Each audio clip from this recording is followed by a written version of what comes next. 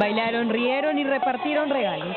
Así se celebró esta tarde la chocolatada navideña del Partido Nacionalista Gana Perú que se realizó en Lima Norte.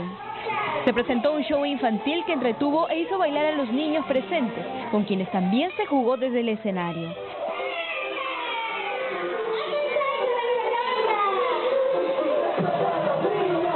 La presidenta del partido, Nadine Heredia, se hizo presente en el lugar y envió un mensaje de reflexión a las familias peruanas. Un tiempo de descanso, pero de unión familiar, sobre todo, de todos nosotros nos encontremos en paz con nuestros corazones, en unión con.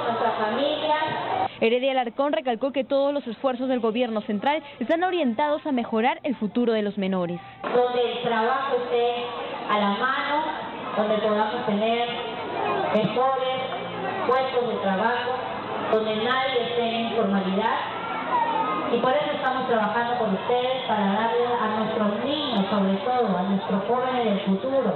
Las madres de familia también disfrutaron del show. Ellas llegaron desde temprano con sus hijos, que fueron los más emocionados con la entrega de regalos.